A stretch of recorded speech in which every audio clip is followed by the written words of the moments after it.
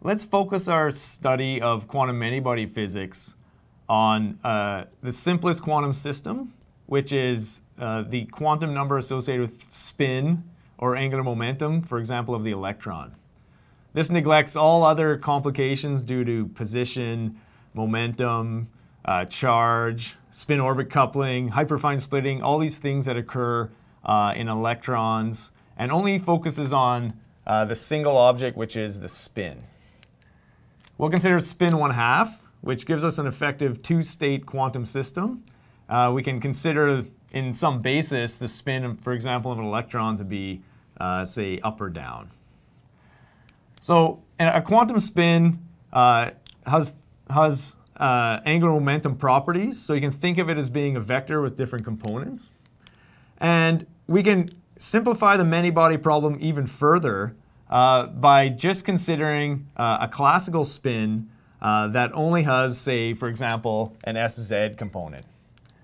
So we pick a preferred axis for the axis for the angular momentum, and let's consider interactions between n spins uh, that just occur between the z components uh, of, of their angular momentum. So that interaction could be, for example, Siz dot Sjz.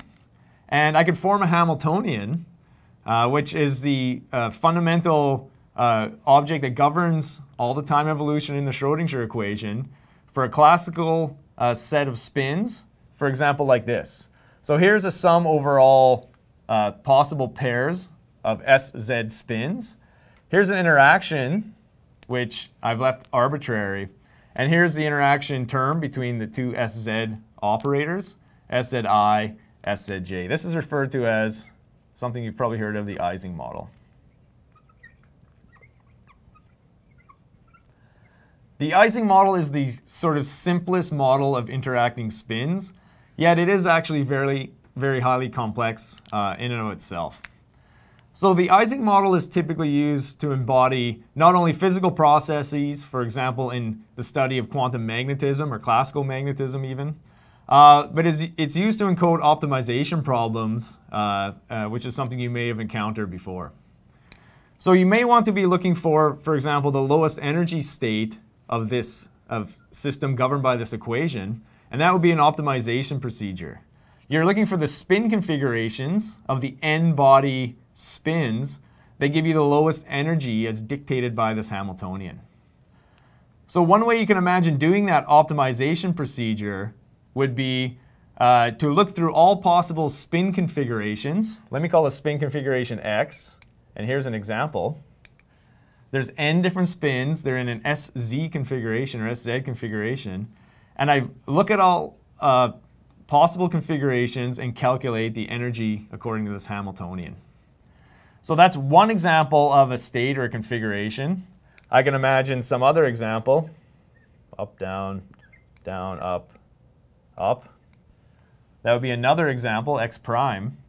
And to search through all possible states would be to search through a very large number, a highly complex uh, system of 2 to the n possible different states. How big is 2 to the n in this many-body problem? It's exponential, it's very large.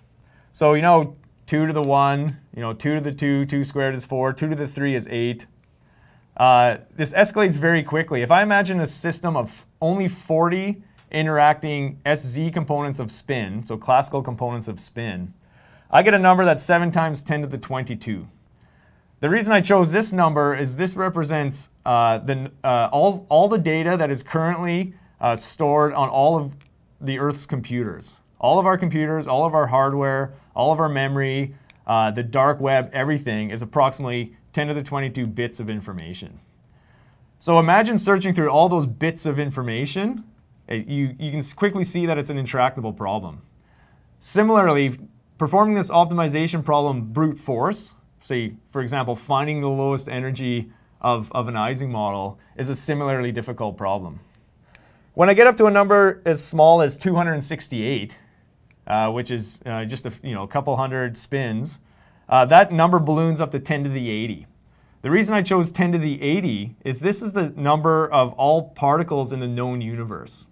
So if you imagine even wanting to store a state, sort of store, if you will, all the possible configurations or snapshots uh, of configurations possible for models like this, you can see that it's essentially physically impossible.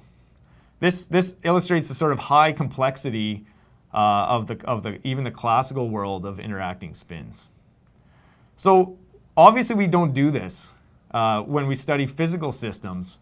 Uh, in physical systems, what we do is we look at probabilistic distributions. So probability distribution that governs, uh, for example, the, the uh, amount of spin configurations and the, and the type that might occur, for example, in a magnet at some temperature.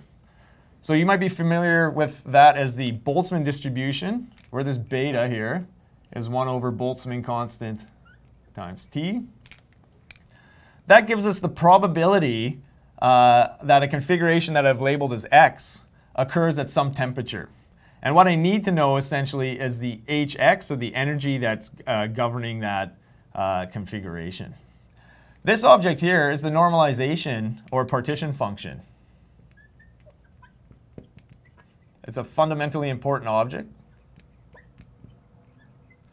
And it essentially runs over a sum over all possible configurations uh, and, and is weighted by the Boltzmann weight. So this would run over all configurations x, let me just label it like this, from 1 to 2 to the n. So that partition function is a fundamentally complex object. In order to calculate it, you essentially have to do these, these almost infinite sums when, when n gets very large. And that, only through that procedure, only by performing that sum or that trace, are we able to calculate physical uh, quantities such as the magnetization. So for example, if all of these were pointing up, I might say the magnetization per spin is 1. I would have to calculate that for every uh, single configuration. And this thing's weighted by a Boltzmann weight and normalized by the partition function. So that's a common problem that we encounter in uh, physics and chemistry uh, and so on. And it's really the realm of statistical mechanics and thermodynamics. So if you take a StatMech class or a thermodynamics class, you will get strategies for how to deal with these very large sums, typically in some sort of probabilistic way. That's, that was all classical. What I've done is ignored those two components of spin. But imagine my Hamiltonian for my Ising model also had a quantum piece. So an off-diagonal matrix element, if you will. This is the actual Hamiltonian of the D-wave device, uh, in some sense, if I, uh, if I restrict uh, the sort of arbitrariness of these Jij interactions. So what D-wave is doing is applying what we call a transverse field, or an off-diagonal uh, field, in order to simplify the, um, if you will, the optimization problem for finding the ground state of this Hamiltonian. So the fundamental difference between quantum and classical Hamiltonians is these are now operators. The spin states, so which I represent as a, a basis ket, uh, are, are state are vectors in this state space in the Hilbert space, and an operator like the sigma, sorry, the SZ operator is a matrix. So this object, this quantum Hamiltonian, is a very large matrix. It's actually, it's actually a matrix uh, of 2 to the n, which is the size of the Hilbert space, uh, times 2 to the n. so that matrix, the solution, if you will, of the quantum many-body problem is essentially diagonalizing that matrix. It's taking that matrix and finding all of the uh, eigenvalues and eigenvectors that are governed by the time-independent Schrodinger equation. Diagonalizing a matrix numerically for a problem like this is known to cost uh, of order m to the cube, where m is the size of the Hilbert space 2 to the n. So you can see how this diagonalization procedure escalates very quickly. In fact, it escalates so quickly that state-of-the-art uh, diagonalization routines, uh, which um, are run on problems of high symmetry, typically can only reach an n, which is a number of qubits, uh, of 30 to 40, say.